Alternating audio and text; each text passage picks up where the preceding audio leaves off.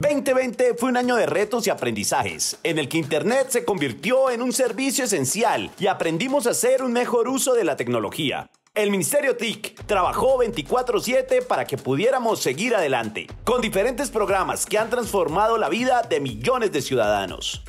Esta labor no para y por eso, en las 5 cosas que no sabías hace un minuto, te presentamos 5 proyectos TIC de alto impacto que continuarán transformando la vida de los colombianos en 2021.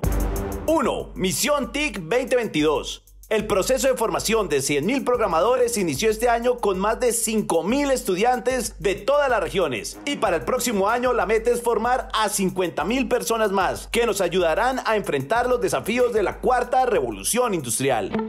2. Hogares conectados. Gracias a este programa, familias de estratos 1 y 2 ya tienen internet fijo en sus casas, con tarifas mensuales que se acomodan a sus capacidades. Este proyecto tiene previsto conectar 500.000 hogares y en 2021 seguirá llegando a más familias de las zonas urbanas. 3. En TIC Confío la protección de niñas, niños y adolescentes de los riesgos en los entornos digitales es una prioridad y es por eso que en el próximo año se continuará fortaleciendo este programa, que llega a través de las charlas lúdicas para fomentar espacios más seguros y confiables en el mundo digital.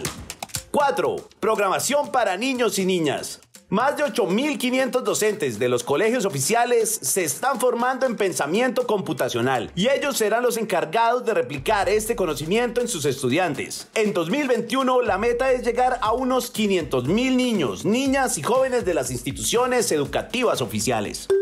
5. Ejecutando y conectando. En un tiempo récord se logró llevar conectividad a los lugares más apartados y a los que más lo necesitaban mediante la instalación de zonas digitales rurales y urbanas. El próximo año, el plan Ejecutando y Conectando seguirá beneficiando con Internet gratuito a millones de ciudadanos.